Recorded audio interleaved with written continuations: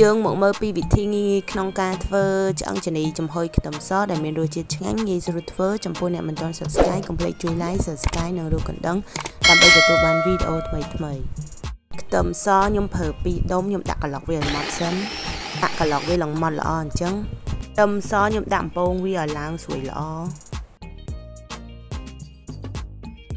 ពេលដែលខ្ទឹមសក្រៀមហើយខ្ញុំបិទភ្លើងខ្ញុំប្រើឆ្អឹងចានីកន្លះគីឡូ ប្រេងខ្យងមួយស្លាបបាយអំបិលមួយស្លាបកាហ្វេពីចេងមួយស្លាបកាហ្វេស្ករសមួយស្លាបកាហ្វេទឹកស្អ៊ីវមួយស្លាបកាហ្វេលាយឆ្អឹងចានីខ្ញុំឲ្យចូលជាតិជាមួយនឹងគ្រឿងផ្សំសិនពងទាមួយគ្រាប់ម្សៅឆា2ស្លាបបាយបារិចបន្តិចលាយវាឲ្យចូលជាតិគ្នាល្អ បន្ទាប់មកខ្ញុំចាក់ខ្ទឹមសខ្ញុំចូលតែខ្ញុំអត់យកប្រេងទេខ្ញុំចាក់យកតែខ្ទឹមទេលាយវាឲ្យចូលជាតិគ្នាល្អ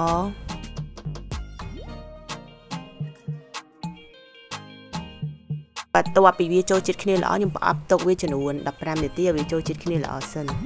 បន្ទាប់ពី5 10នាទីហើយខ្ញុំដាក់ចូលក្នុងចានយកទៅចំហុយ